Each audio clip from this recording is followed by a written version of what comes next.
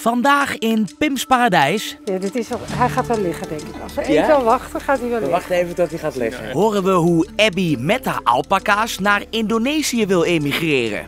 Een hele brutale vraag, maar is, is, het duur om al je dieren te, ver- over te vliegen? Ja, dat is... eh,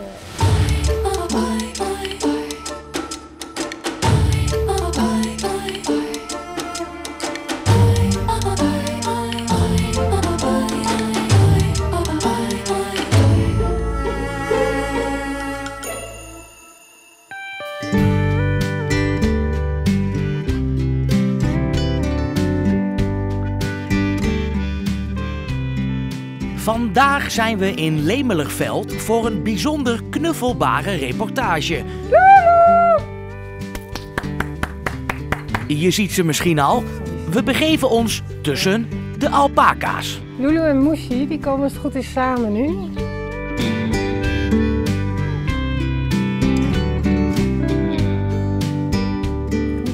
Oh, daar hebben we Mushi. Kijk, en Lulu. Hallo. Nou, gehoorzaam of niet? Kijk! Dit is en- Lulu, mijn lama. En een van hen is een beroemdheid. Precies, dat is deze Mushi de famous alpaca. Misschien heb je het voorbij zien komen op de social media kanalen, want het werd duizenden keren bekeken. Het was wel heel grappig om, eh, om te zien eh, hoe, eh, hoe, ja, hoe zij ook maar aan die naaktkat bleef, eh, bleef hangen. En het grappige was, die naaktkat ging dus ook haar oortjes sabbelen. Ja, het is echt, eh, dat was hilarisch. Nou, dit is Lulu. Lama's kennen we natuurlijk eigenlijk als, als, eh, als spugers. Maar als lama's gewoon op hun gemak zijn, dan eh, gaan ze je niet spugen. Maar wel je kleren en je microfoon aanvallen. Onze gastvrouw van vandaag gaat zich eventjes aan u voorstellen. Maar dat is hier nog een behoorlijke opgave. Ja, dit is wel, hij gaat wel liggen, denk ik. Als we Ja? even wachten, gaat hij wel We liggen. wachten even tot hij gaat liggen. Hij is echt zo opdringerig. Zoiets. Ze zijn wel rustig. Ja, heel lief. Hij heeft ook dat, hoe heet het, eh, gehad, dat eh, Bokito-effect toen hij klein was. Hij zag me echt als potentieel partner. Dat is heel vervelend als dieren dat hebben. Hij gaat denk ik liggen zo, maar als we het even een telletje geven, dan... En dan vinden we het juiste moment. Hoi, ik ben Abby. Ehm, we hebben een uh, alpaca-boerderij waar je gezellig thee kan drinken met alpakatjes. En ehm, daarmee steun je eigenlijk ons goede doel. Dat is de opvang voor dieren die medische zorg nodig hebben. En jij was de eerste in Nederland. Ik was de eerste in Nederland. eh, bij toeval. Omdat eh, wij hadden een, eh, hadden een filmpje eh, in ons schuur hierachter. En we hebben daar samen met onze buurmeisjes hebben wij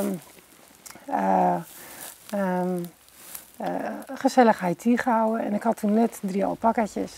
En we hebben daar gezellig zitten teaen. En uiteindelijk hebben we dat filmpje is op Facebook gekomen. En die is helemaal viral gegaan. Waar mensen dachten dat er dus echt een high tea tussen alpaca's eh, bestond. Dus ik kreeg een overloaded veel aanvragen van kunnen wij hier ook heen. Maar ja, toen moest de gemeente eerst nog even instemmen natuurlijk. En uiteindelijk hebben we het kunnen starten. High tea tussen de alpaca's. Knuffelen, fotootjes maken voor de social media kanalen. Het is een gezellige beestenbende. En waarom alpaca's?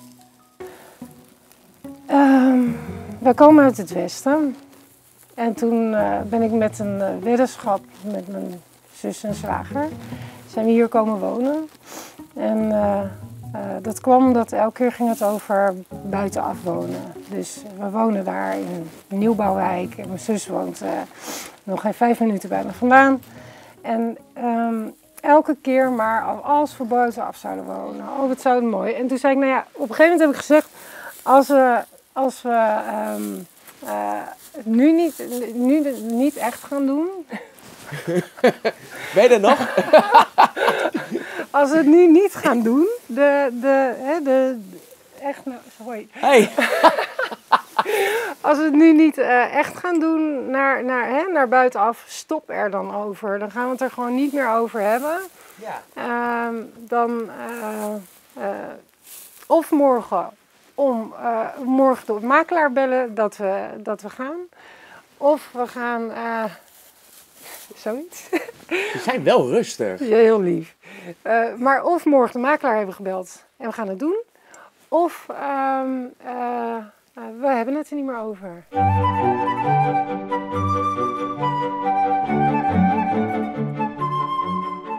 Het werd de makelaar.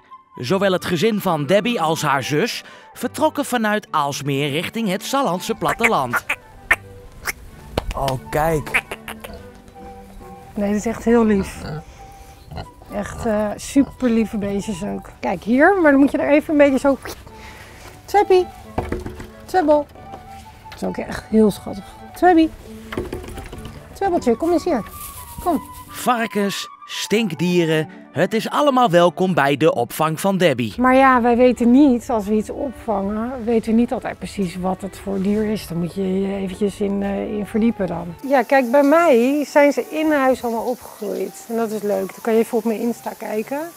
En dan zie je dus dat, eh, dat, dat ze allemaal als baby bij ons in huis. Dus je ziet René gitaar spelen, liggen twee alpakkaatjes. We hebben op een gegeven moment een, uh, een alpakkatje gehad uh, die blind was en die kon niet lopen.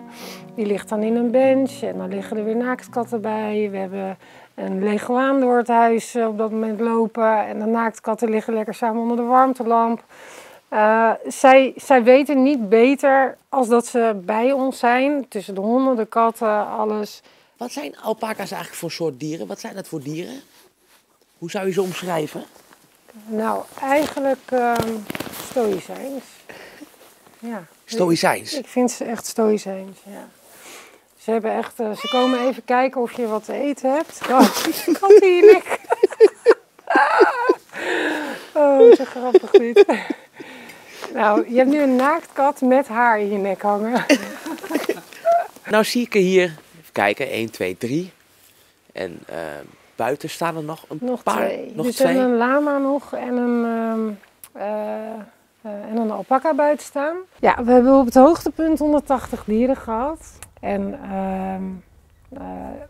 bijna allemaal met medische zorg.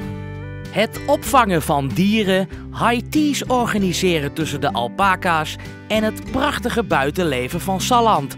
Het sprookje is compleet, toch? Ja, wij hebben altijd gezegd nooit meer weg, maar dat is dan toch niet helemaal gelukt. Dat is niet gelukt, hè? Nee. Want jullie hebben plannen. Ja, wij hebben hele verre plannen. we gaan uh, naar Bali en naar Sumba. En we gaan niet alleen. We gaan... Alle niet, niet, gaan niet mee. met mijn zus, helaas. Want dat deden we natuurlijk wel hier naartoe. Dat had ik wel heel graag gewild.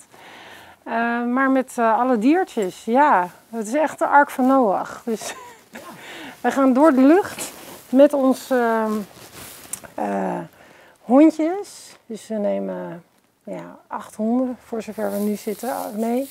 Vijf katten, vijf alpaca's, een lama, een schildpad en een kakatoe mee. En mijn kinderen en mijn man. Ja. Hoe ga je dit doen? Ja, je vliegt door de lucht met z'n allen. Dat is het. Maar huur je dan een, een, een, een, huur je een vliegtuig of hoe werkt dit? Nee, dat, daar heb je dus eigenlijk geen weet van. Maar als jij dus naar zo'n verre bestemming vliegt, zit in het ruim weet je wel vaak dat er honden zitten. Maar uh, dus ook andere dieren, ja ik geloof tot 1,75 meter of zo, ik weet het niet precies. Maar uh, die mogen ook mee. Dus ze bouwen gewoon een, uh, een houten frame om hen heen. Een hele brutale vraag, maar is, is het duur om al je dieren te, uh, over te vliegen? Ja, dat is uh, echt duizenden euro's. Ja. ja. ja. Dus vlieg je binnenkort richting Bali, dan kan het zomaar zijn dat je medepassagiers uit alpaca's bestaan. Waarom gaan jullie weg? Um, nou, ik word op een gegeven moment uh, word ik ziek. En uh, daarmee heb ik op het randje gestaan eigenlijk van, uh, van de dood. Nou, die had ik nog niet bezocht tot zover. Dat heeft dan op dat moment heel veel impact. En um, nou ja, ik krabbel een beetje op en op een gegeven moment krijgen we het flitsende idee om een uitje even te doen naar de IKEA. Want daar kan ik namelijk zitten, daar kan ik liggen, zonder dat iemand ervan opkijkt dat ik even op een bed lig. Kan ik daar mijn rondje doen en als het echt niet meer zou gaan, zou ik met zo'n zo'n rolstoeletje er weer uitgereden worden. Maar dan kon ik in ieder geval eventjes het huis uit. En daar breek ik. ik, ik het leek wel een soort vervroegde overgang, explosie of zo. Ik begin, ik barst in huilen uit en ik zeg tegen René, uh, we moeten uit Nederland. Als ik nou niet blijf leven, dan... Ik wil voor de jongens iets anders dan Nederland. Ik vind het niet, uh, niet een fijne situatie met de woningentoestand, de regering die nog niet helemaal eh, weet wat die van plan is. Ik vind het gewoon lastig. Dus ehm, wij rijden op de terugweg rijden wij eh, eh, via de winkels terug en daar kopen we een wereldkaart. Want René, ja, die was al lang blij dat ik nog leefde. Die, die redt zich wel qua werk. Wat, wat was er gebeurd? Hm? Wat was er gebeurd met jou? Ik had mijn eh, slagaders aan de binnenkant gescheurd. Dus dan aan beide kanten had ik een uh, dissectie van mijn, uh, van mijn slagaders. Dus dan ben je hondsberoerd, kan ik je vertellen. En dan ga je een tijd tegemoet die wat spannender is dan, dan, normaal. En ik zal ook altijd voorzichtig moeten blijven doen. Maar het is wat het is, ja. Ja, ik kan ermee leven. Dus uiteindelijk zijn we met de wereldkaart zijn we thuisgekomen. We hebben de jongens naar beneden geroepen. Zouden jullie willen emigreren? Nou, die werden zo blij. Dus uiteindelijk hebben we die, die wereldkaart gegeven. Uh, zoeken jullie maar uit waar je wil gaan wonen. En zo komen wij op uh, Bali en Sumba. Als ze het huis verkocht hebben, lonkt dus een nieuwe toekomst in Indonesië. Maar we hoorden het net al, niet alle dieren kunnen mee. Ja, Diepe zucht. vreselijk. Ja? Zo niet mijn ding. Ja, heel veel verdriet. Ja, echt heel lastig. Ze is al een hele tijd bezig om voor de dieren die niet mee kunnen een goede plek te vinden. En dat gaat op gevoel. Eigenlijk allemaal hele fijne huisjes, maar ik ben ook altijd wel op zoek naar het gevoel, denk ik, wat, wat ik bij iemand heb. Ja, je kan een hondje hier. Uh, ik ben eigenlijk neem wel acht honden mee, maar het liefst zou ik er zes meenemen. Dus ik zou er nog het liefst twee hondjes herplaatsen. Ook die mensen, als ze niet op mijn pad komen, dan gaan we met z'n acht hondjes. Als die mensen nog wel op mijn pad komen, ja, dan gaan we met zes hondjes. De allereerste alpaca-boerderij van Nederland is voorlopig nog gewoon open. Mocht je nog met de diertjes willen knuffelen. Net zolang tot ze het huis hebben verkocht. Misschien kom ik wel gillend terug. Nee, Wat, wat ga je hier missen? mijn zus. Ja, mijn zus. Ja, Die laat je wel achter. ja. Maar ja.